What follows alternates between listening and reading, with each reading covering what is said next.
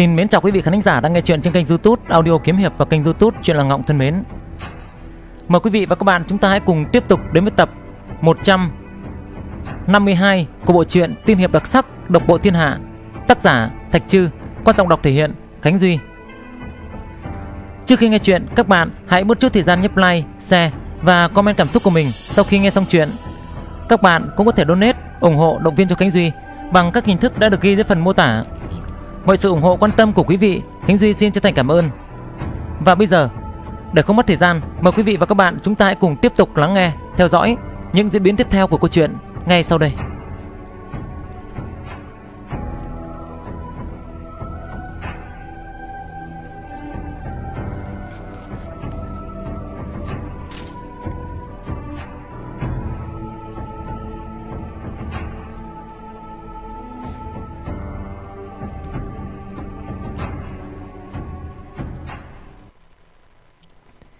Tiếp theo phần trước. Lại nói lúc bây giờ, Dương tả sứ rứt cuộc cũng không nhịn được nữa, Nổi giận quát một tiếng, giơ tay mà chụp tới hạo thiên khuyển.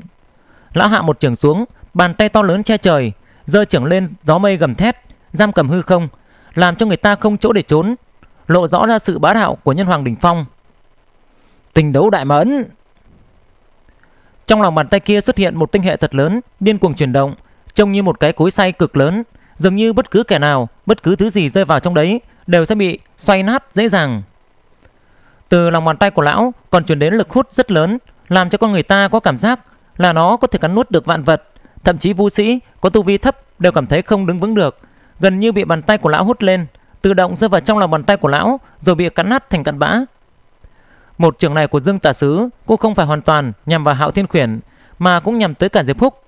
Lão làm nhục Diệp Húc không được, lại bị Diệp Húc nhục nhã lại.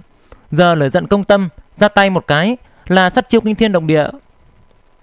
Lại càng thêm nhiều thánh chủ phát hiện ra động tĩnh bên này nên đều tới đứng nhìn. Thấy Dương Tả Sứ một tay thi triển muôn hình vạn trạng nên ai nấy cũng đều tán thưởng liên tục.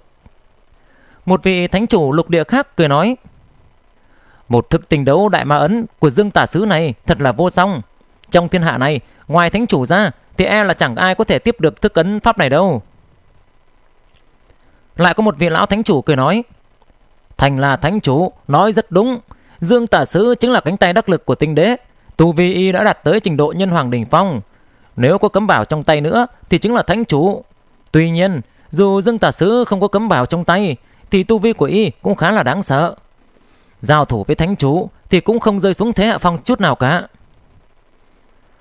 Lão còn chưa dứt lời thì đột nhiên thấy Diệp Húc cầm một chiếc trượng màu xanh gõ xuống, một tiếng ầm vang lên.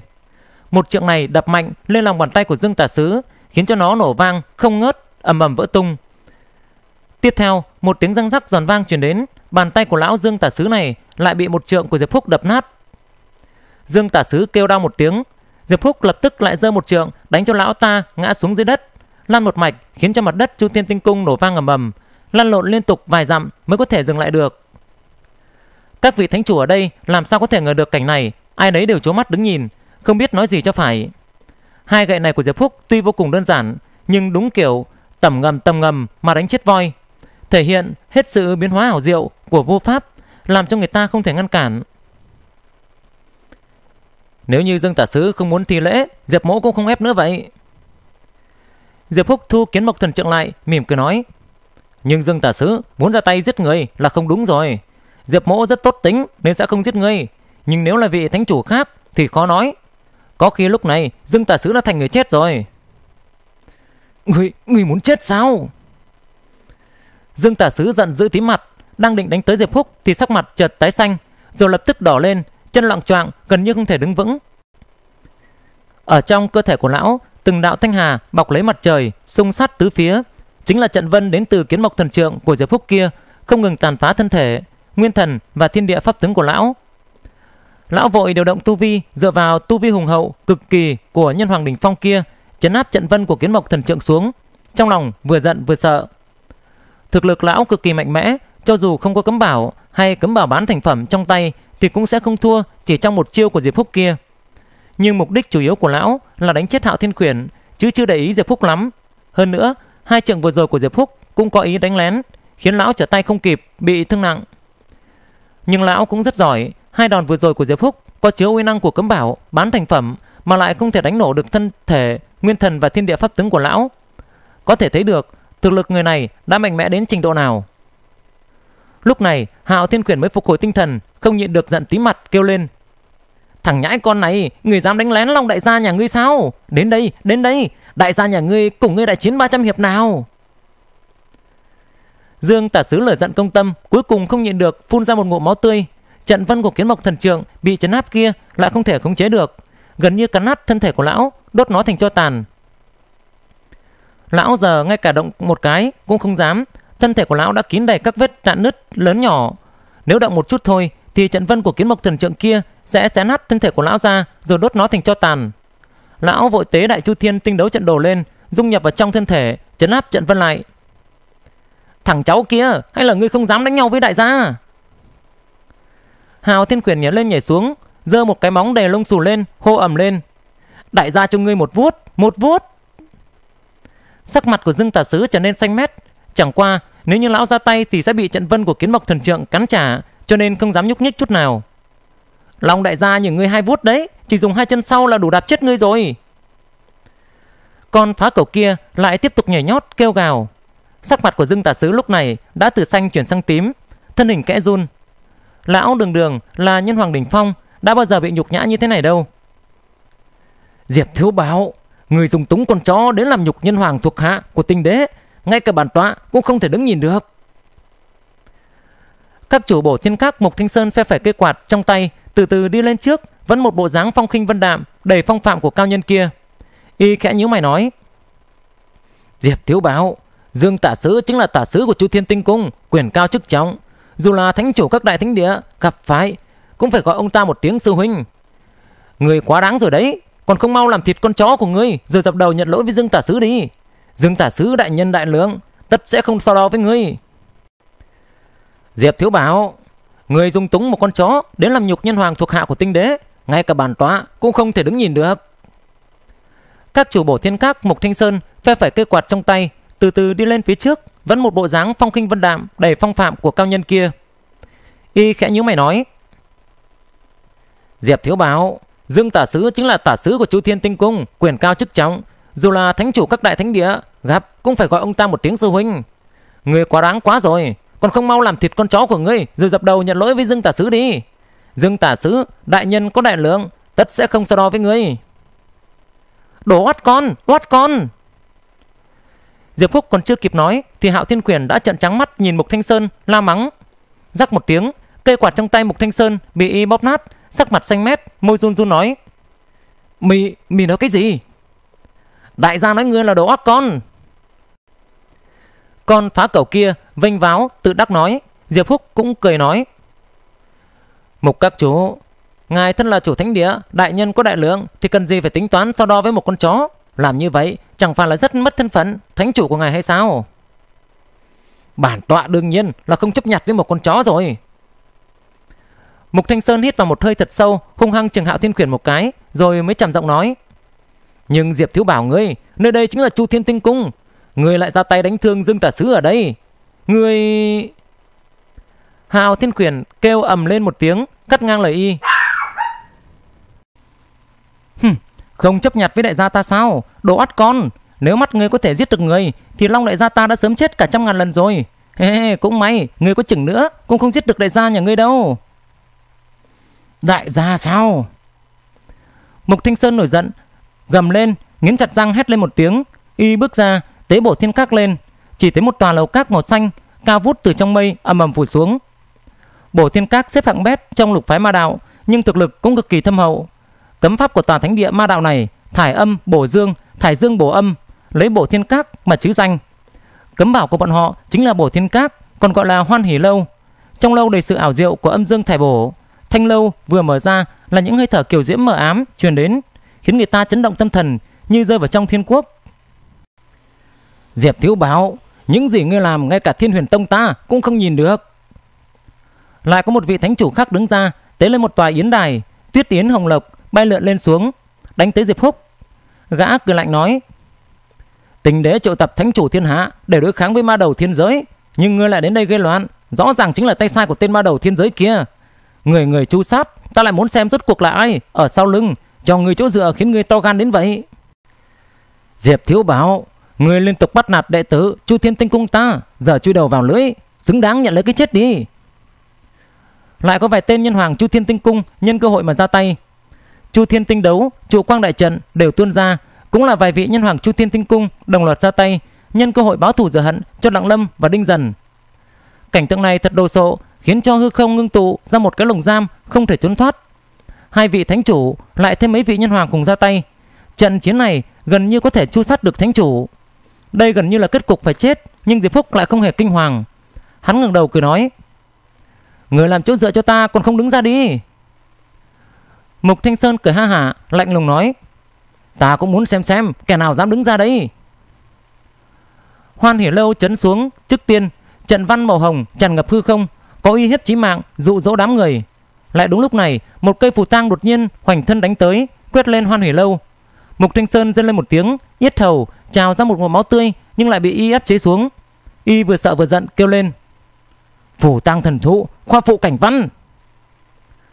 Cùng lúc đó, một bàn tay yêu dị trắng như tuyết xuất hiện, mang theo những trận văn cấm chế huyền diệu, có giải đối chiến với cấm bảo yến đài của Thiên Huyền Tông, đánh bay nó đi. Thánh chủ Thiên Huyền Tông lảo đảo lui ra sau, sắc mặt tái nhợt. Đám Chu Thiên tinh đấu và trụ quang đại trận bay tới, mắt thấy sắp chụp Diệp Phúc vào trong lồng thì một tòa lô bồng bay tới, thủy khí rủ xuống bảo vệ Diệp Phúc bên trong. Lô bồng vạn pháp bất xâm chắn Chu Thiên tinh đấu và trụ quang đại trận ở bên ngoài. Cấm bảo của Nguyên Thủy Thánh Tông ư? Tuần sư cố, tuần thánh chủ ư? Vị lão thánh chủ này cũng đã tới, thậm chí còn giúp Diệp Thiếu Bảo. Đám người Mộc Thanh Sơn hoảng sợ, không hiểu gì cả, lại thấy hai vầng mặt trăng dâng lên, vượt qua biển áo, hạ xuống Chu Thiên Tinh cung.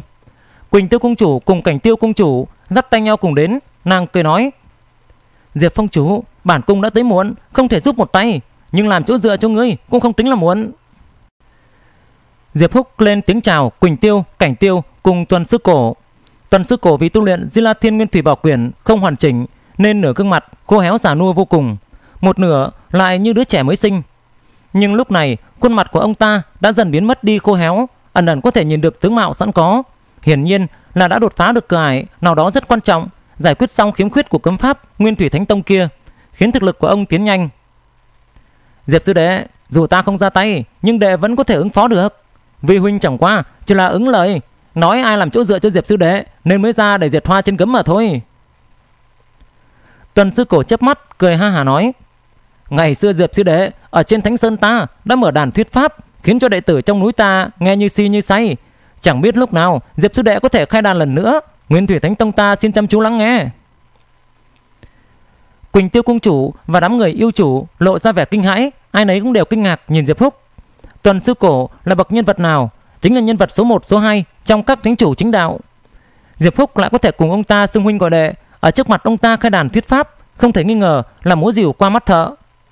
Mặc dù tu vi hiện giờ của Diệp Phúc đã có thể so với nhân hoàng, thực lực đã gần với thánh chủ, nhưng nếu luận kinh nghiệm tu luyện và tâm đắc thì mỗi một vị thánh chủ ở đây đều hơn hắn không biết bao nhiêu lần.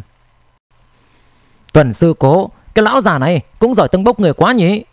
Cùng con rể ta xưng huynh gọi đệ, nói chuyện lúc nào cũng tâng nó lên cao. Yêu chủ mặt mang ý cười, mà lòng thì suy tư. Nhưng ta lại nghe nói, thiếu bảo và nguyên thủy thánh tông có ân oán. Tuần lão nhân đem nữ tử của mình gả cho tên thân thể ngũ hành của tiểu quang minh thánh địa kia, mà tên đó lại bị thiếu bảo đánh chết đi. Thiếu bảo đã xóa đi đoạn ân oán này như thế nào đây? Hắn đột nhiên cảnh giác trong lòng, hừ lạnh một tiếng thầm nghĩ. Tiểu tử này, hái hoa ngắt cỏ khắp nơi, chẳng lẽ là quyến rũ nữ đệ tử, tuần sư cổ kia sao? Thật đáng giận mà hắn lại không biết rằng lúc trước diệp phúc khai đàn thuyết pháp đã đem di la thiên nguyên thủy bảo quyển mà mình biết rằng trong nguyên thủy thánh tông nói hết cả bảy quyển Tuần sư cổ hiển nhiên là được lợi, nó đã bù vào chỗ khiếm khuyết của cấm pháp Nguyên Thủy Thánh Tông. Thậm chí tuần sư cổ muốn gả Tần Khả Khanh cho Diệp Phúc để trả ân truyền đạo, nhưng Diệp Phúc không để ý, không đợi tuần sư cổ mở miệng thì đã đi mất. À đâu có đâu có. Diệp Phúc đáp lễ tuần sư cổ cười nói: "Tiểu đệ có một cuốn kinh văn đây, khi nào rỗi rãi mong tuần sư huynh đánh giá cho." Tuần sư cổ mừng rỡ, khó chờ nổi, hắn cười nói: à, "Vậy ta không tham gia đại hội tinh cung này nữa, sư đệ, Chi bằng hai người chúng ta lập tức đến Thánh Tông ta Con cháu Thánh Tông ta nhất định sẽ rất vui mừng Diệp Phúc quyền chuyển từ chối Cùng mọi người chuyện trò vui vẻ đám người Mục Thanh Sơn lại âm thầm khiếp sợ, chân tay luống cuống. Diệp Phúc chỉ gọi một tiếng, liền có năm vị thánh chủ ra mặt, ra tay đánh tan đám người Mục Thanh Sơn. Người làm chỗ dựa cho Diệp Phúc đều là những thánh chủ của những thánh địa lớn nổi danh lừng lẫy trên thế giới vô hoang. Thiên yêu tự chính là đại phái gần với thanh đế, yêu chủ Thiên yêu cung thì có thực lực sâu không lường được, chính là cường giả thánh chủ đỉnh cao. Cảnh văn thánh chủ khoa phụ tộc kia chính là cuồng nhân chiến đấu trời sinh, tính tình nóng nảy mà thực lực lại khủng bố.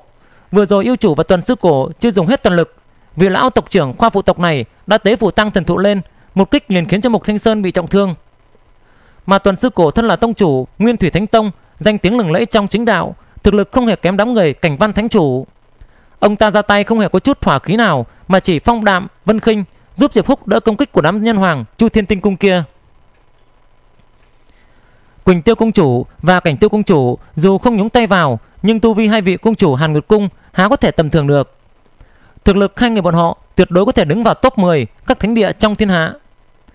Trong thiên hạ có 3000 lục địa, thánh chủ nhiều không đếm xuể, nhưng người có thực lực có thể sánh với năm người này thì chỉ đếm được trên đầu ngón tay. 3.000 lục địa thì Trung Thổ Thần Châu là hưng thịnh nhất.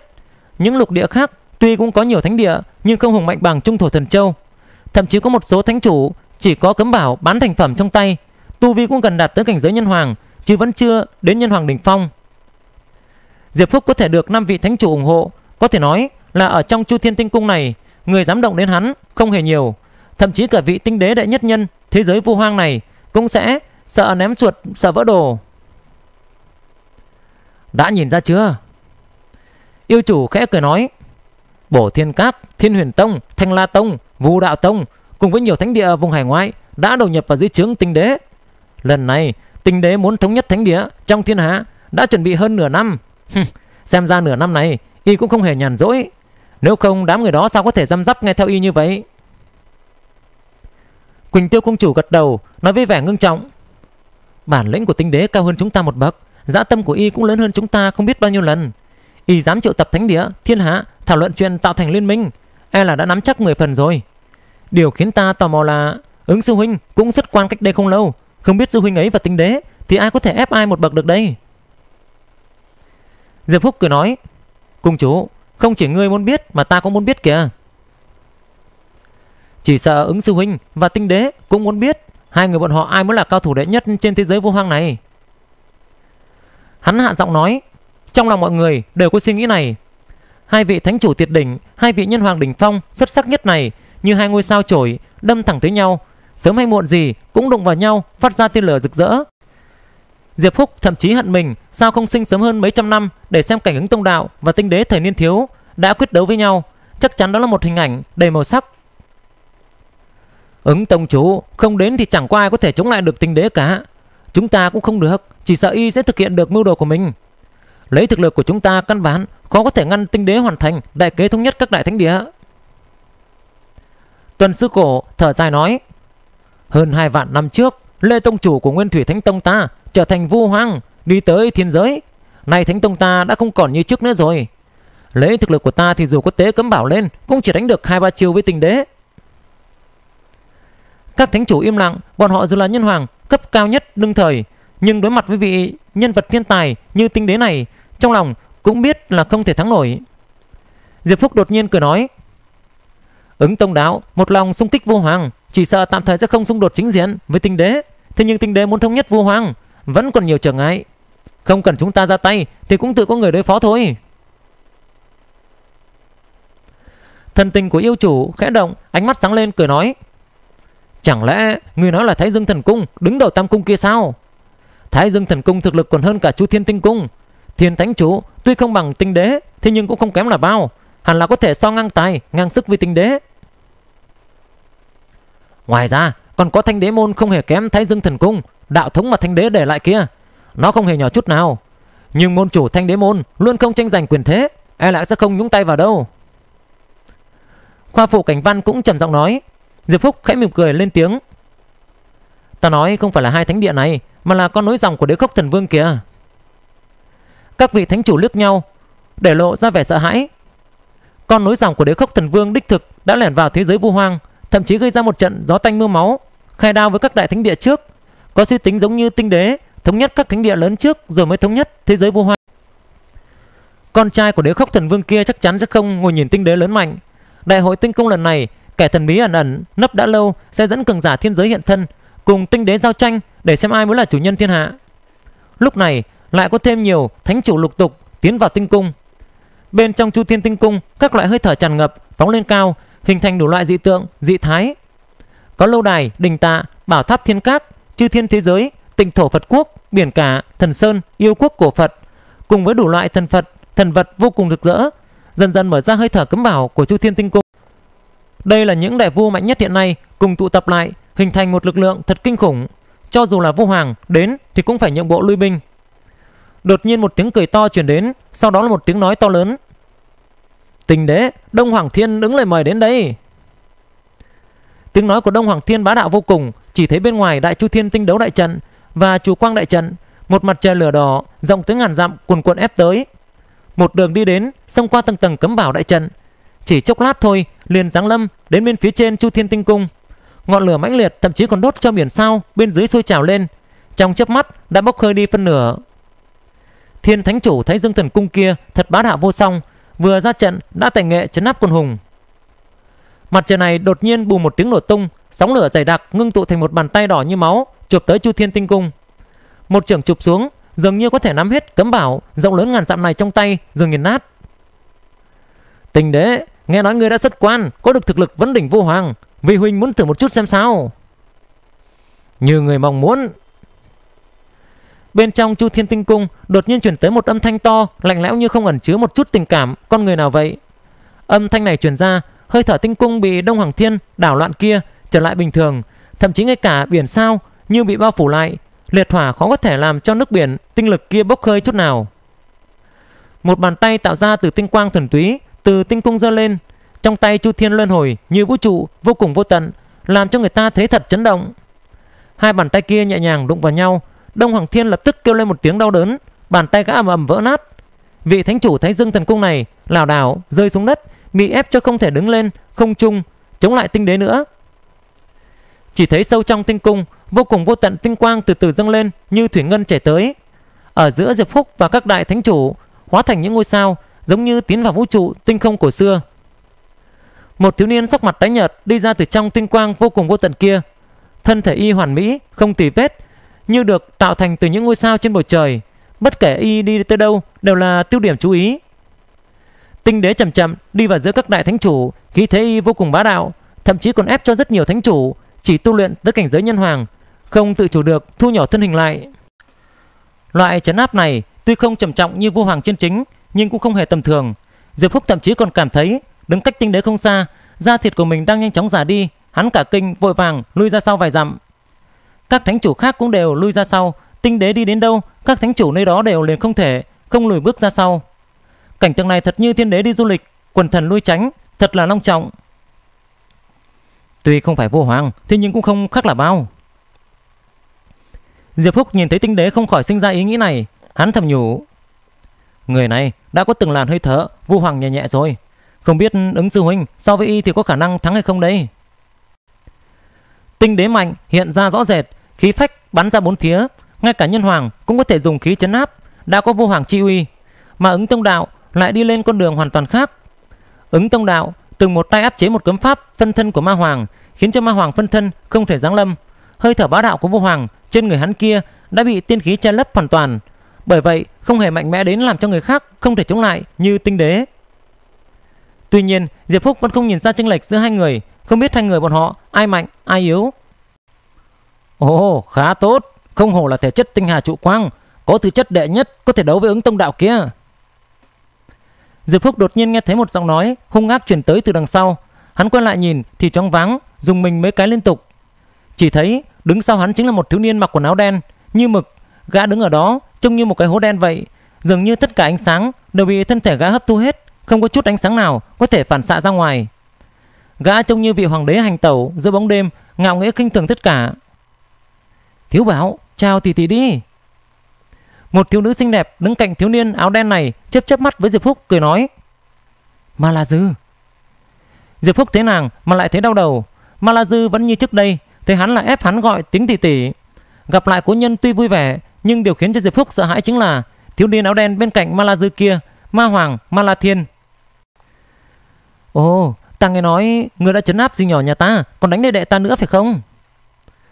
Ma La Dư mỉm cười đi đến bên người Diệp Phúc, không hề thấy nàng nổi giận vì Diệp Phúc chấn áp Ngọc Tiêu cung chủ hay đánh nát thầu nhân vực.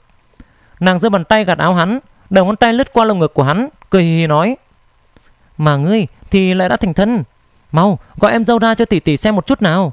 Nếu như vừa lòng thì tỷ tỷ sẽ cho nàng ta một ít đồ tốt, nếu không thì tỷ tỷ sẽ chém hả ngay tại chỗ này."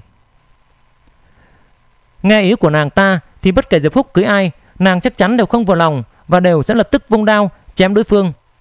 Mồ hôi lạnh tuôn ra trên trán Diệp Phúc, hắn cười gượng hai tiếng nói: ờ, "Sư tỷ, nói đùa rồi." Lúc trước thì gọi người ta là cô bé, giờ có người mới rồi, liền gọi người ta là sư tỷ.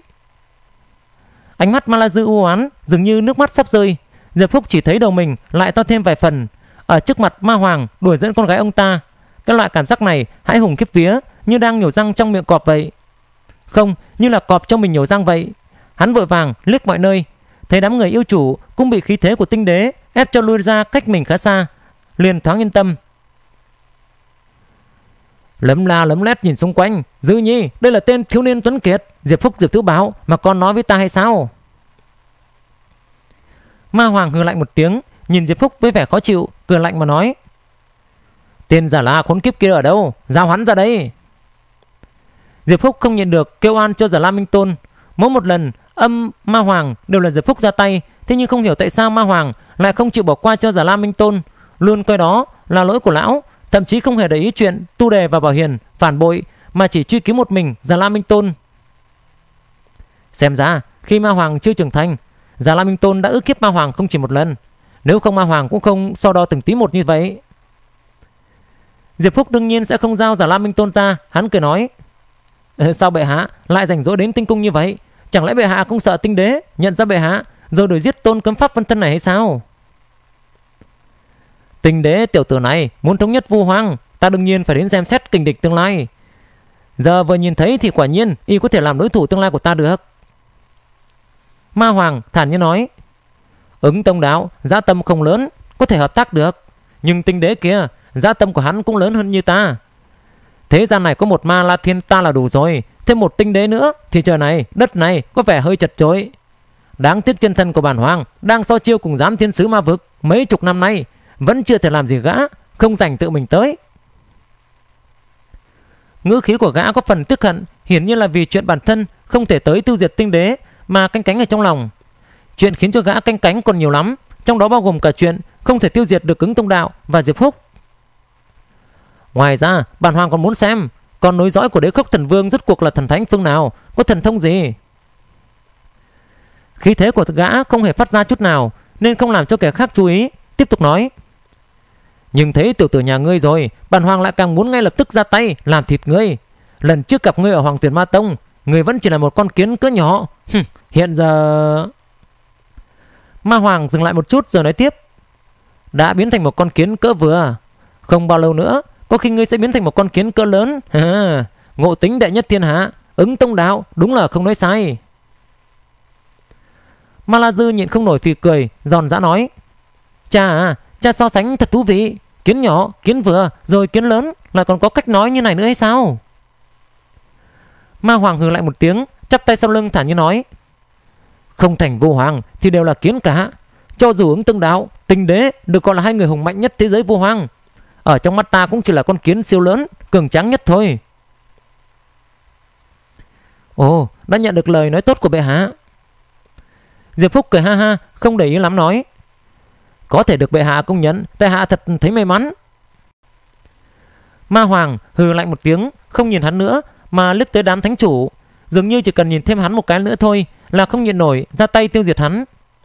Gã hạ giọng nói, Xem ra, đại hội tinh cung lần này cũng không chỉ kinh động đến bản hoàng, Còn kinh động đến những vua hoàng khác nữa. Diệp Phúc cả kinh, nghi ngờ nói, Vua hoàng khác sao? Chẳng lẽ trong thế giới vua hoàng còn có vua hoàng sao? Đương nhiên không phải là vua hoàng của thế giới vua hoàng Vua hoàng của thế giới vua hoàng đã chạy tới thế giới khác rồi Kẻ mà bản hoàng nói chính là hai tên tuần thiên sứ Mà thiên giới phái xuống kìa Ánh mắt ma hoàng sáng ngời Chiến y bốc lên Trông thật thiếu chiến đứng bên cạnh gã làm cho người ta có một loại cảm giác cực kỳ nguy hiểm, cực kỳ không an toàn. Diệp Phúc nhìn theo mắt gã thì thấy hai người trung niên mặc áo xanh đứng ở trong thánh chủ. Hai kẻ này tướng mạo bình thường đến cực điểm, bất cứ kẻ nào lướt mắt một cái đều sẽ xem nhẹ hai người này, giống như là ma hoàng kia. Hai người đó như cảm ứng được ánh mắt của ma hoàng, đột nhiên cũng quay đầu nhìn về phía Diệp Phúc. Ánh mắt bọn họ vừa nhìn tới nơi đây đã khiến cho người ta có cảm giác như hư không méo mó, thời không rối loạn, năng lượng chất chứa trong ánh mắt kia mạnh đến mức có thể xé nát nhân hoàng chỉ trong chớp mắt. Ma Hoàng khẽ động thân che trước người Ma La Dư, ngăn cản uy năng từ ánh mắt hai người kia. Nhưng với Diệp Phúc thì gã không tốt đến như vậy. Gã gạt Diệp Phúc ở nơi đó, khiến hắn một mình chịu đựng ánh mắt của hai vị vua hoàng. Diệp Phúc cũng cảm giác được thân thể, nguyên thần và thiên địa pháp tướng của mình dường như sắp bị ánh mắt của hai người kia xé nát. Hắn vội vận chuyển bản vương khai thiên kinh, luân hồi rách nát sau lưng, khẽ chuyển động vặn vẹo thời không, bình ổn lại thời không rối loạn do ánh mắt của hai người kia. À! Bên tai Diệp Phúc đột nhiên vang lên hai tiếng kêu nhẹ, tuy nhẹ nhưng rơi vào trong tai của hắn thì lại đinh tai nhức óc như sét đánh, khiến cho khí huyết của hắn bị chấn sôi trào lên. Hai gã trung niên áo xanh kia liếc nhau rồi cùng bước chân đi tới bên cạnh Diệp húc này. Ma Hoàng thân hình căng thẳng như gặp phải đại địch. Vị sư huynh này, hai người bọn ta phụng mệnh chu sát Dương Nghiệt đế khốc chứ không phải có ý đắc tội. Chức trách của giám thiên sứ không hề liên quan đến tuần thiên sứ ta. Lần này hai người bọn ta đến là để xem Dương Nghiệt đế khốc kia rốt cuộc có đến hay không, chứ không hề muốn phát sinh xung đột với ngươi. Một vị tuần thiên sứ nhìn về phía Ma Hoàng rồi thản nhiên nói. Ma Hoàng cười ha ha, trầm tĩnh lại, lên tiếng. Bản Hoàng cũng không muốn đắc tội với hai vị vua hoàng. Hiện giờ bản Hoàng bị giám thiên sứ ma vực kia làm cho sứt đầu mẻ chán. Nếu thêm hai vị nữa thì ta chịu không nổi, chịu không nổi. vì tuần thiên sứ khác hạ giọng nói. Tuần thiên sứ ta phụ trách tuần tra chư thiên, nghe lệnh vũ la lão tổ, giám sát thiên sứ, giám thiên sứ phụ trách giám sát hạ giới. Nghe lệnh võ canh lão tổ nên không cùng một hệ thống. Bởi vậy, chuyện của giám thiên sứ thì tuần thiên sứ ta không chịu trách nhiệm. Sư huynh đại khái có thể yên tâm. Diệp Phúc tò mò hỏi. Hai vị này dám hỏi hai người đuổi giết con nối dõi của đế khốc tần vương kia rốt cuộc là có tìm được hay không vậy? Một vị tuần thiên sứ trong đó lướt khám một cái, ánh mắt như nhìn một con kiến cỡ vừa giống như ma hoàng, khiến cho Diệp Phúc khá là khó chịu. Sau một lúc lâu, gã đó mới miễn cưỡng nói: Huyền điếu cõng chiều ca bay xa, chạy trốn tới thế giới khác. Hai người bọn ta đuổi giết mấy năm, luân phiên đại chiến nhưng vẫn không thể bắt được nó. Nhưng cũng chém chết được vài tên, tiếc là không phải con nối dõi của đế khốc kia. Lấy tình hình chúng ta chiến đấu với cao thủ chân lưng huyền điếu thì xem ra nơi đó vốn không có con nối dõi của đế khốc rồi, chỉ là vài quân cờ của đế khốc mà thôi. Vị tuần thiên sứ khác nói tiếp. Bởi vậy bọn ta đoán con của đế khốc đã nhân cơ hội lẻn vào vô hoang âm thầm ẩn náu đâu đó cho nên mới tới đây xem rút cuộc người này là ai. Năm người bọn họ đứng ở nơi đó như đứng ở giữa thể không khác. Cao thủ trong tinh cung tuy nhiều nhưng để ý tới bọn họ thì lại không có mấy. Đây là khí thế mạnh mẽ của vua hoàng khiến cho hư không méo mó. Lực bóp méo còn mạnh hơn lục đạo luân hồi của bản vương khai thiên kinh tạo ra rất nhiều.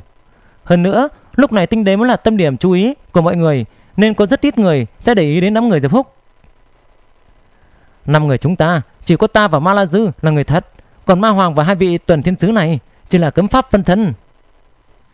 Diệp Phúc thầm nghĩ trong lòng. Lúc này, tinh đế tập trung rất nhiều ánh mắt của thánh chủ. Vừa xuất hiện đã dùng tài nghệ chấn áp thiên thánh chủ Thái Dương Thần Cung. Các thánh chủ khác ở trước mặt y trông như ngoan đồng, giống như các ngôi sao vậy, vây quanh một mặt trăng, như lá cây phụ trợ cho hoa tươi là tiêu điểm của tất cả mọi người. Nhưng Diệp Phúc lại biết đó chỉ là giả tượng. Nếu như ba vị vô hoàng bên người mình mà xuất hiện thì hào quang trên người tinh đế kia sẽ chẳng còn chút gì. Bầu không khí mà y gian khổ tạo ra sẽ biến mất hoàn toàn. Đáng tiếc ba người này sẽ không theo ý ta. Hắn ngầm thở dài một tiếng. Lúc này đây, tinh đế đã ngồi xuống, quanh nghi là ngân hà, tinh vân hội tụ, trông như đang ngồi trên một tinh hệ. Sau đầu y là 365 tòa chu thiên tinh đấu. Trên mỗi một tinh đấu đều có một vị chu thiên tinh quân, trông như cổ thần vậy. Sắc mặt y hơi tái nhợt, không một chút huyết sắc, toàn thân giống như ngân hà trụ quang tổ hợp thành, không có một chút tinh huyết. Hẳn là biểu hiện của thể chất đặc thù ngân hà trụ quang kia. Y giống như một vị hoàng đế thống ngự chu thiên, cả người tràn ngập ánh sáng, nhưng thánh chủ bên dưới đều là thần tử của y. Chủ nhân các thánh địa khác cũng đều tự ngồi xuống, lúc này liền hiện ra sự mạnh yếu giữa các thánh chủ. Mạnh như đám người Đông Hoàng Thiên, Yêu chủ, Quỳnh Tiêu Cung chủ, thì có địa vị ngang với tinh đế, không bị khí thế của y áp bách. Kẻ yếu chính là một số thánh chủ cấp nhân hoàng, phần lớn là thánh địa, trưởng giáo vùng hải ngoại, bị khí thế của đám người tinh đế và đông hoàng thiên ép cho thân thể thu nhỏ lại vài phần. Thưa các vị sư huynh đệ, nếu đại bộ phận các đại thánh địa đã đến đủ thì chúng ta thương lượng xem nên kết thành đồng minh như thế nào để cùng đối kháng với con nối dòng của đế khốc thần vương kia. Lão thánh chủ Thanh La Tông đột nhiên đứng ra khỏi đám người kia. Người này hiển nhiên đã thỏa thuận với tinh đế, đầu nhập vào tinh cung. Lão lớn tiếng nói. Thiên hạ hiện nay, bất cứ thánh địa nào trong chúng ta đều không muốn bị kẻ khác nô dịch. Mà nay, con trai của đế khốc thần vương từ trên trời giáng xuống, định tái lập hoàng triều đại thương. Đến lúc đó các đại thánh địa chúng ta tất cả sẽ bị triều đình chấn áp, kéo dài hơi tàn. Còn nối dòng của đế khốc thần vương kia có rất nhiều thủ hạ, không hề thiếu nhân vật cấp thánh chủ, lại tu luyện cấm pháp cao thâm của thiên giới kia, không có thánh địa nào có thể chống lại được. Theo ý ta ấy, chỉ bằng bỏ qua hiểm khích trước kia, đoàn kết lại, đề cử ra một vị lãnh tụ tuyệt thế vô song. Như vậy mới có thể chống lại được con nối dòng của đế khốc thần vương, không bị người khác nô dịch. Thành là thánh chủ, nói rất hay. Lại có một vị lão thánh chủ đứng ra, cao giọng nói.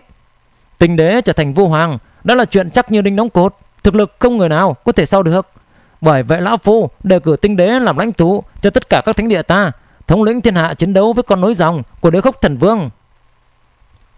Đúng vậy. Mục Thanh Sơn cũng đứng ra, cất cao giọng nói. Nếu là minh chủ của các đại thánh địa thì đương nhiên phải nghe lệnh của tinh đế. Có lệnh hạ xuống, không thể không tuân theo. Các vị có ý kiến khác thì cứ đề cử ra người thích hợp. Nhưng từ một nhà nào đó chọn ra người có thể sánh vai với tinh đế thì e là không có ai. Tinh đế làm lãnh tụ cho các thánh địa, Thiên Huyền Tông ta là người đầu tiên giơ tay tán thành. Đám thánh chủ đứng ra đầu tiên đó hiển nhiên là hòn đá dò đường của tinh đế. Một đám với tài ăn nói, gạn đục khơi trong này đều đề cử tinh đế làm lãnh tụ liên minh. Các vị thánh chủ nhân hoàng khác đều im lặng. Tinh đế vừa xuất hiện đã áp chế Đông Hoàng Thiên. Lúc này ai dám đề xuất ý kiến khác chắc chắn sẽ thành kẻ đầu tiên bị tinh đế và đám thánh chủ đầu nhập vào y kia chèn ép. Thiên thánh chủ, không biết ngài có dị nghị gì không? Tinh đế ngẩng đầu nhìn về phía Đông Hoàng Thiên. Vừa rồi người khác chưa động nhưng Đông Hoàng Thiên đã động trước, lớn tiếng dọa người. Một kích đánh ra khiến cho biển sao gần khô kiệt. Có thể thấy kẻ này cũng dã tâm bừng bừng, chẳng qua vẫn kém tinh đế một chút. Đông Hoàng Thiên đang định nói thì một tiếng cười vang dội truyền đến từ ngoài Đại Chu Thiên Tinh đấu đại trận và trụ quang đại trận. Một âm thanh vang lên. Tinh đế, người muốn trở thành lãnh tụ của các thánh địa bên trong thiên hạ, chấm cũng muốn. Chấm lại muốn xem thử xem ngươi và chấm ai mới là cao thủ đệ nhất thiên hạ. Ong một tiếng, từ đằng xa, sáu vòng công đức kim luân đột nhiên bay lên, ong ong chuyển động. Hai bàn tay lớn vượt qua hai tòa đại trận này, từ xa đánh tới tinh đế đang ngồi trên bảo tọa kia. Khi thế hùng mạnh, uy năng lớn kia thậm chí còn lớn hơn cả Đông Hoàng Thiên. trưởng kia của người này vượt qua mấy ngàn dặm, nhưng uy năng vẫn kinh thiên động địa như trước, có thể nói là đáng sợ khủng bố. Lòng bàn tay như một mặt trời chói chang, uy lực mạnh hơn Dương Thiên Thần Vương diệt cấp ấn mà Diệp Phúc tự thi triển ra cả mấy trăm lần. Ấn pháp của Đế khúc Thần Vương, đây là ấn pháp Đế khúc Thần Vương sao? Bên cạnh Diệp Phúc, hai vị tuần tiên sứ kia lướt nhau, tinh quang lóe ra trong mắt, Hai người bọn họ bất chợt đứng dậy Nhìn về phía bàn tay đánh tới kia. Trong thế giới vu hoang Vẫn còn có người như thế này sao? Thần sắc ma hoàng khẽ động Gã cũng nhìn về phía bàn tay kia. Giờ khắc này tất cả các thánh chủ cũng ngừng mặt nhìn Kinh ngạc không thôi. Thậm chí thánh chủ tiểu quang minh thánh địa Ngọc Trân Đại Sư cũng kinh hô một tiếng. Bởi thức cấn pháp này đúng là Dương Thiên Thần Vương diệt cấp ấn, Trong chư Thiên Thần Vương công đức ấn. Ngọc Trân Đại Sư lấy được một bức bích họa Từ trong thăng hoàng lăng, trên đó có ghi lại chính thức công đức thần vương ấn pháp, vu pháp cấp thần vương. Tuy nhiên dù lão đã tìm hiểu được nó một thời gian khá dài, nhưng vẫn không hề hiểu biết, vẫn chưa thể tu luyện chính thức ấn pháp này viên mãn. Diệp phúc chợt hiểu, không khỏi mỉm cười. Thánh chủ hạ gia, tới đây. Tinh đế ngồi trên bảo tọa y không đứng dậy, mà chỉ giơ tay nghênh đón. Bàn tay đánh đến kia đột nhiên biến đổi, hóa thành 18 bàn tay. Hủy diệt ấn, diệt tuyệt ấn, bất tử, độ ách, vãng sinh. Đủ mọi loại ấn pháp kia lập tức đánh tan bàn tay này của tinh đế. Thần sắc tinh đế hơi động, đột nhiên đám chu thiên tinh đấu sau lưng y khẽ động. Các vị chu thiên tinh quân đứng dậy, vô số bàn tay, giơ lên đón nhận đám ấn pháp này. Hiển nhiên là y vẫn chưa dùng toàn lực, nhưng đã có thể đánh vỡ 18 đạo chư thiên thần vương công đức ấn kia những mặt trời mặt trăng âm dương ngư liệt thoại địa ngục tam túc kim ô đều bị đánh nát Càng thêm nhiều bàn tay nữa giơ ra từ sau lưng tinh đế, che trời phủ đất, đồng thời đồng loạt đánh tới 18 bàn tay kia. Đây là tinh đế muốn lập uy, mặc kệ người tới là ai, cứ đánh cho trọng thương hoặc giết chết để khiến đám thánh chủ trong thiên hạ này không dám phản kháng lại y. Đột nhiên 18 bàn tay trên không trung kia đồng loạt hóa thành bất động thần vương ấn. Hạ gia thánh chủ xuất hiện, trông như một vị thần vương tọa chấn quân thiên thần giới, vĩnh hằng bất động. Ở một tiếng, hư không ngàn dặm sau lưng hắn đều tan biến, chỉ có một mình hắn bình yên vô sự. Thánh chủ hạ gia tản đi bất động thần vương ấn, không hề bị thương chút nào, hắn mỉm cười nói: "Tình đế, chấm đã luyện hóa được huyết mạch của đế khốc thần vương, hiện giờ tu vi thực lực đều tiến nhanh, đã đến cảnh giới gần vu hoàng, không biết chấm có tư cách tranh đoạt vị trí lãnh tụ với người hay không?" Hắn càng thêm tự phụ cuồng ngạo so với trước kia, giọng điệu khi nói chuyện cứ như là chủ nhân thiên hạ vậy. Các vị thánh chủ xôn xao, ngơ ngác nhìn nhau. Trước đây thánh chủ hạ gia tuy tu vi mạnh, nhưng ở trong đám thánh chủ thì cũng chỉ là cung cấp với đám người yêu chủ, Quỳnh Tiêu cung chủ, cách những thiên tài như ứng tông đạo hay tinh đế khá xa. Nhưng lúc này, thánh chủ hạ gia lại có thể chống lại được tinh đế, thật sự là ngoài dự đoán của mọi người. Hơn nữa, nghe ngữ khí của hắn thì hắn có được huyết mạch của đế quốc thần vương, thậm chí đã luyện hóa nó, dung nhập vào trong huyết thống của mình, khiến tu vi thực lực tăng vọt lên, trở thành nhân vật có thể sánh với ứng tông đạo và tinh đế. Hai vị tuần thiên sứ liếc nhau, hơi hơi lắc đầu, một người nói: "Không phải hắn, tuy có chư thiên thần vương công đức ấn của đế khốc thần vương, nhưng huyết thống của đế khốc thần vương trong cơ thể kia quá ít, quá thấp rồi." Quả thật là không phải. Vị tuần thiên sứ khác trầm giọng nói: tình huyết trong cơ thể người này hẳn là huyết mạch của đế khốc thần vương để lại, phòng trừng lại là thủ đoạn che mắt khác của đế khốc thần vương để bảo vệ con cháu chân chính của mình đây. Khi đế khốc để lại người kế vị thì đã là đế quân của thiên giới, huyết mạch của đế quân đủ để đưa hắn ta thành vua hoàng. Diệp Phúc khẽ nhíu mày, thấp giọng hỏi: "Hai vị, người này không phải là đứa con chân chính của đế khốc thần vương ư?" "Không phải." Hai vị tuần thiên sứ chậm rãi ngồi xuống, tiếp tục nhắm mắt dưỡng thần, một người trong đó thản nhiên nói Người kế vị mà đế khúc thần vương để lại rất nhiều, Sẽ không nông cạn như vậy. Lại một vị tuần thiên sứ khác trầm giọng lên tiếng. Ở cấp độ đế quân, Tâm tư của bọn họ, Ngay cả vua hoàng, cũng không thể tính toán được. Nếu để lại người kế vị, Chắc chắn là không có kẽ hở. Hơn nữa chân lưng huyền điệu Còn có hậu đại của đế khốc thần vương. Trong đó thậm chí còn có hai vị vua hoàng. Không có thực lực của vua hoàng, Thì sao có thể khống chế vua hoàng được đây? Nói không sai. Ma Hoàng cũng mở miệng nói, Con kiến lớn họ hạ kia Nhìn có vẻ mạnh, Nhưng một chiêu vừa rồi với tiểu tử tinh đế kia Đã dùng hết toàn lực rồi, Mà tinh đế vẫn còn dư lực, Thậm chí còn chưa đứng dậy, Lại càng không dùng đến tinh hà trụ quang thể kia. Có thể thấy được, chênh lệch thực lực khá lớn, Hắn ta chỉ là một con kiến cỡ lớn mà thôi. Diệp Phúc không nhận được nhíu mày, Ba vị vua hoàng đều nói như vậy, Xem ra thánh chủ hạ gia quả thật không phải là con nối dõi của đế khốc thần vương chỉ là đế khốc thần vương cố ý để lại huyết mạch bị thánh chủ hạ gia luyện hóa để che giấu tai mắt người ngoài trở thành kẻ chết thay chân chính cho người kế vị đế khốc thần vương. Ma hoàng chậm rãi nói huyết mạch của thần vương cũng không phải là dễ luyện hóa như vậy. Còn kiến lớn họ hạ kia nóng lòng cắn nuốt tinh huyết của đế khốc thần vương nhìn như tu vi thực lực tiến nhanh chỉ sợ cũng để lại khiếm khuyết cực lớn. Sớm hay muộn cũng sẽ nguy hiểm cho bản thân hắn ta thậm chí có khi sẽ bị chính huyết mạch của đế khốc thần vương đồng hóa, trở thành thuộc hạ của đứa con nối dõi chân chính kia của đế khốc thần vương. Diệp Phúc không kìm nổi mà vô cùng thông cảm nhìn về phía thánh chủ hạ gia. Hắn vốn cho là thánh chủ hạ gia sẽ trở thành một nhân vật lớn, ai dè lại trở thành kẻ thay thế, thậm chí còn có khả năng bị tàn tật biến thành con rối. Mà như thế, nếu hắn ta đã không phải là huyết mạch chân chính của đế khốc thần vương, thì rốt cuộc người kế vị đế khốc thần vương kia là ai đây? Người kế vị này rốt cuộc là một con người hay chỉ là một bãi tinh huyết của đế quân đây?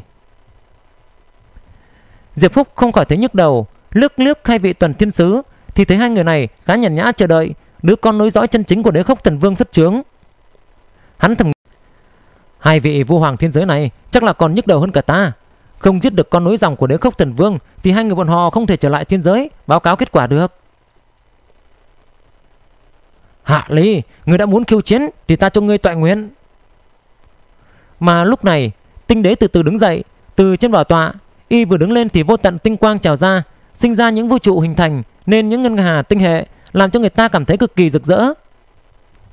Tâm cảnh của y đã tu luyện đến thiên địa động ta bất động, thiên địa diệt ta bất diệt, giống như vũ trụ hàng cổ bất diệt. Y mở miệng rất ít Nhưng mỗi khi mở miệng là không ai có thể dao động tinh thần Y Định ra chủ ý là sẽ giết người Diệt thánh chủ hạ gia Để bước lên vị trí lãnh tụ của các đại thánh địa Chủ các đại thánh địa cả kinh Nhưng lại có phần chờ mong Tinh đế và ứng tông đạo đều đã hơn 200 năm chưa từng ra tay. Ngoại trừ lần trước với khốn hoàng tuyển ma tông, Mới thấy y tế lên một tòa chu thiên tinh đấu đại trận, Bao vây hoàng tuyển ma tông lại, Chứ vẫn chưa dùng tới thủ đoạn sát phạt. Nhưng lần này vị đệ nhất nhân đương thời, Nhân vật nổi danh cùng ứng tông đạo này Lại tự mình ra tay, Sao có thể không khiến cho người ta kích động được? Thánh chủ hạ gia cất tiếng cười to, Khiến cho vương miện trên đỉnh đầu hơi rung lên, Khí thế từ từ tăng lên. Gã ngạo nghĩa nói này, tinh đế Ngươi hẳn nên gọi ta là đế ly mới phải. Chư thiên thần vương cấp đức ấn của ta Chính là vô pháp cấp thần vương. Từ khi tu thành đến nay, chưa từng giao thủ với ai. Người đã được gọi là cao thủ đệ nhất đương thời. Vậy đã để ta đánh giá ngươi xem, Ai mới là thiên hạ đệ nhất chân chính. Hai đại cao thủ đối đầu, Mọi người vội vàng lui tránh. Đây là cường giả đương thời, Đã đến rất gần cảnh giới vô hoàng. Thánh chủ hạ gia tuy không bằng tinh đế, Nhưng dù sao, gã cũng đã hấp thu huyết mạch của thần vương, Khiến cho tu vi tiến nhanh lại tu thành chư thiên thần vương công đức ấn. Lấy sự ảo diệu của môn ấn pháp này, Tuy thực lực hắn không mạnh Đến mức có thể đánh bại được tinh đế, Nhưng đủ để tự bảo vệ mình. Đây nhất định sẽ là trận chiến rực rỡ Và hùng trắng nhất trong những năm gần đây. Hai vị, chờ cho một lát. Khi hai vị cao thủ tuyệt đỉnh Sắp đại chiến, Diệp Phúc đột nhiên đứng dậy rồi cười tủm tỉm, Cao giọng ôm ồm nói, Nếu thánh chủ hạ gia đã nói dòng huyết mạch của đế khốc thần vương Bị hắn luyện hóa đây chẳng phải là nói không hề có đứa con nào Của đế khốc thần vương chăng? Nếu đã không có cái gọi là con của đế khốc thần vương, Thì liên minh này cũng không cần tồn tại nữa. Đại hội tinh cung lần này, Hoàng tuyền thánh tông ta không tham dự. Các người cứ từ từ mà đánh đi, Tiểu đệ xin cáo từ.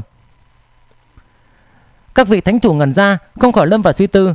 Lần này, bọn họ muốn kết minh chính là để tạo ra một liên minh lớn mạnh, Có thể thống chống lại Con nối dòng của đế khốc thần vương. Nhưng Diệp Phúc nói như vậy, Làm cho bọn họ tỉnh táo trở lại. Thánh chủ hạ gia nói huyết mạch của đế khốc thần vương Đã bị hắn luyện hóa dung nhập vào trong huyết mạch của mình. Xem ra liên minh này đúng là không cần thiết phải có rồi. Nếu đã không có con trai đế khốc thần vương, chúng ta cần gì phải đầu nhập vào tinh cung hoặc hạ gia hoặc thánh địa nào khác đây?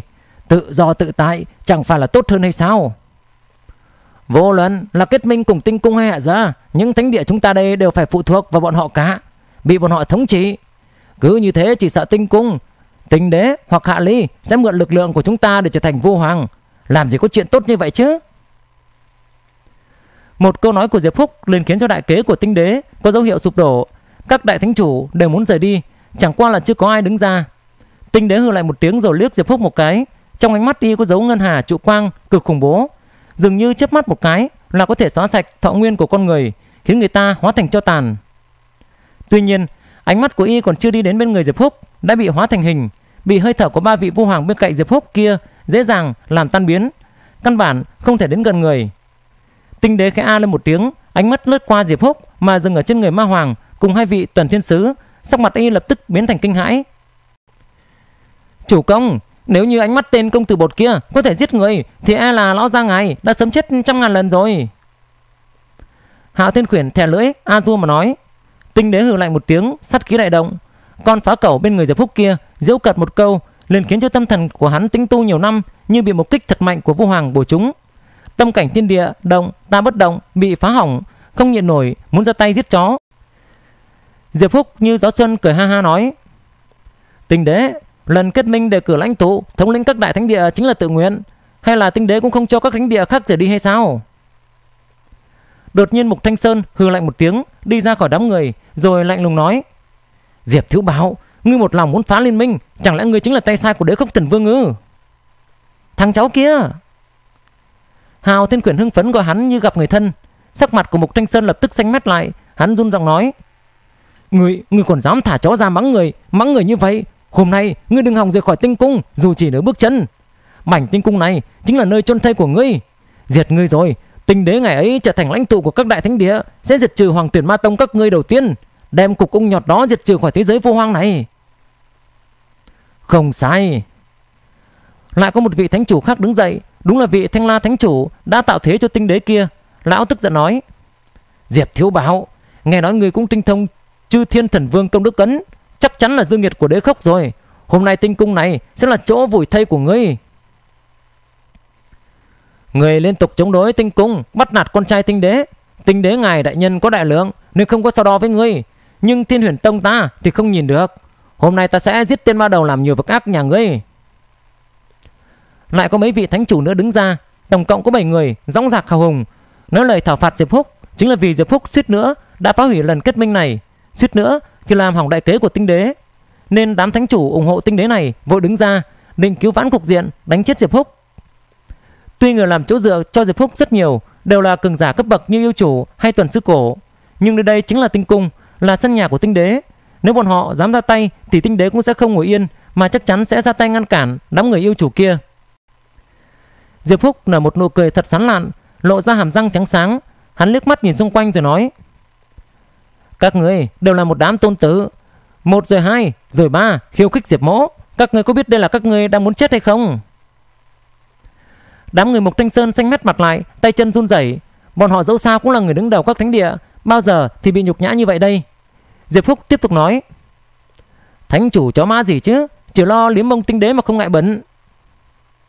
Nói tới đây, Diệp Phúc ấy náy cười với tinh đế, nhận lỗi mà nói: à, "Tinh đế chế trách tội, tiểu đệ nói chuyện chính là ngay thẳng như vậy. Nhưng dù sao thì bọn tôn tử này liếm mông ngài mà ngài không thấy gây tẩm hay sao?" "Tiểu bối, ta giết ngươi!" Mục Thanh Sơn phẫn nộ quát lên một tiếng, tế hoan hỉ lâu lên. Tòa thanh lâu này phóng lên cao, tản ra những rung động kinh người mà chỉ có cấm bảo mới có, chấn áp tới Diệp Phúc. Gã đã chú ý Diệp Phúc bên cạnh không chỉ có một người, nhưng lúc này có tinh đế làm chỗ dựa nên chẳng kiêng nể gì. Hoan hỉ lâu bổ thiên các chấn áp trời cao, ngay cả ma hoàng và hai vị tuần thiên sứ cùng với ma la dư đều bị bao phủ bên trong. Sáu vị thánh chủ khác thấy thế đều ảo ảo tới cấm bảo, cấm bảo bắn thành phẩm của mình lên đồng loạt áp tới Diệp Phúc. Mấy người này cùng chung một suy nghĩ, xử tử tên khốn Diệp Phúc này trước rồi lại ủng hộ tinh đế đi lên vị trí lãnh tụ. Bảy vị thánh chủ cùng ra tay, thật kinh thiên động địa, bảy món cấm bảo bay lên không đánh đến. Thậm chí cả cấm bảo của Chu Thiên Tinh Cung cũng bị chấn áp. Không xong rồi. Sắc mặt đám người yêu chủ cùng Quỳnh Tiêu cung chủ kịch biến, ai nấy đều vội vàng đánh tới Mục Thanh Sơn để khiến cho bảy người này thu hồi công kích. Quỳnh Tiêu, Tuần Sư Cố, yêu chủ, các người nhất định phải đối nghịch với Chu Thiên Tinh Cung ta sao? Khuôn mặt của tinh đế âm trầm, ánh mắt lóe lên, y đột nhiên tháo cây châm gỗ trên đầu xuống, giơ tay vẽ ở trên hư không. Lập tức một đạo ngân hà rộng chừng mấy ngàn dặm hiện ra giữa đám người yêu chủ của Mục Thanh Sơn. Trong tinh hà truyền đến tiếng gầm thét. Chỉ thấy 365 vị tinh quân đứng trên tinh hà, ngăn cản đám người yêu chủ cùng Quỳnh Tiêu. Lời Diệp Phúc nói so với con phá cẩu, Hạo Thiên quyển còn khiến y thật sự nổi giận, khiến tâm cảnh thiên địa động ta bất động thiên địa diệt ta bất diệt bị phá sạch không còn một mảnh tinh đế dùng một chiêu vô pháp ngăn cản đám người yêu chủ rồi nhìn về phía thánh chủ hạ gia lạnh lùng nói hạ ly trận quyết chiến giữa chúng ta tạm hoãn một lát chờ xử lý xong mấy tên loạn thần tặc tử dám gây loạn đại hội. Y còn chưa nói xong thì một tiếng vang nặng nề như trời đất sụp đổ truyền đến chấn động toàn bộ chu thiên tinh cung. Còn kiến vô chi kia dám mạo phạm thiên uy. Bên người Diệp Phúc, một vị tuần thiên sứ đột nhiên giơ tay ra, hơi nhóng lên một cái, đã đánh lên bảy món cấm bảo kia. Ra tay với bản hoàng, tự tìm đường chết chứ. Cùng lúc đấy, thân hình ma hoàng khẽ động, sau lưng gã dâng lên hình ảnh ma thần ngàn mắt ngàn tay ngàn chân, ngàn tay cái dung liền tạo ra vô cùng vô tận, dao động, bao phủ lấy bảy món cấm bảo. rắc một tiếng, bên trong bảy món cấm bảo này, cấm bảo bán thành phẩm bị hai vị vu hoàng chấn cho vỡ nát đầu tiên. Tiếp theo là bổ thiên các, yến đài và cấm bảo chân chính cũng bị luồng pháp lực vô biên của vu hoàng kia chấn áp, trực tiếp bay ngược trở lại, rầm rầm vài tiếng liền nghiền nát tất cả đám người Thiên Huyền Tông chủ, Mục Thanh Sơn và Thanh La Thánh chủ. Mấy món cấm bảo này không chỉ nghiền nát thân thể bọn họ mà còn đem nguyên thần, thiên địa pháp tướng, thậm chí là chân linh bất diệt nghiền hết thành cặn bã. Đám cấm bảo đó mặc dù là cấm bảo chân chính, nhưng người nắm giữ chúng trong tay thì còn lâu mới có thể chống lại được với vua hoàng chân chính. Hai vị tuần thiên sứ và ma hoàng tuy chỉ dáng phân thân tới, thế nhưng dù sao cũng đã dung nạp một cấm pháp nên vẫn vô cùng mạnh mẽ, nhanh chóng liền tiêu diệt bảy vị thánh chủ. Vù vù vù. Chủ nhân mấy món cấm bảo này dù chết, nhưng cấm bảo vẫn chưa bị tổn hại nghiêm trọng.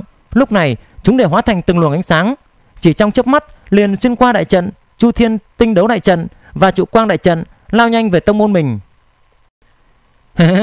Dám to gan đối nghịch với bản đại tôn vương Và chủ công của bản đại tôn vương Chết rất hay, rất tuyệt Hạo Thiên Khuyển ngạo nghễ oai hùng, như vừa rồi là nó ra tay, kêu lên. Còn ai nữa nào? Ai nữa nào? Rồi thì đứng ra. Bản đại tôn vương sẽ giải quyết hết đám tôn tử các ngươi ngay.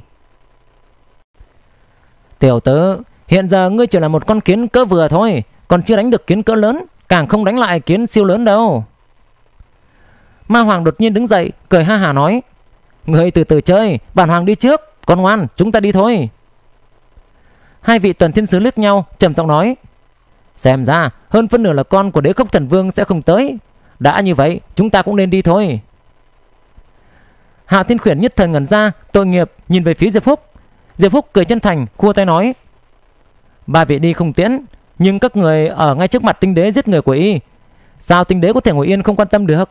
Nếu là ta, Cho dù thế nào cũng phải giữ ba vị lại. Ma Hoàng ngẩn ra, Dừng bước lại, Quay đầu cả giận nói, Tiểu tử Ngươi hai mặt bày trò, Hay là ngại sống quá lâu vậy? Hai vị tuần thiên sứ cũng dừng bước lại, Nhìn về phía Diệp Phúc với ánh mắt không tốt. Mặc dù tuần thiên sứ chúng ta Không tiện quấy nhiễu hạ giới, Nhưng gặp kẻ quá xấu xa Thì cũng phải thay trời hành đạo một lần. Diệp Thiếu Áo tuy rằng xấu xa đến cặn bã, Thạch mỗ hận không thể lập tức làm thịt hắn ta, Nhưng lời của hắn đúng là tâm tư của thạch mỗ đấy. Tiếng của tinh đế đột nhiên chuyển tới, Mang theo sát khí lạnh lạnh. Ba vị vua hoàng, nếu các người đến đây với chân thân thì thạch mẫu tất sẽ nhượng bộ ba phần, nhưng chỉ là ba tôn cấm pháp phân thân thì chẳng là gì trong mắt thạch mẫu cả. Hôm nay, thạch mẫu liền thử đồ sắt vu hoàng một lần xem sao.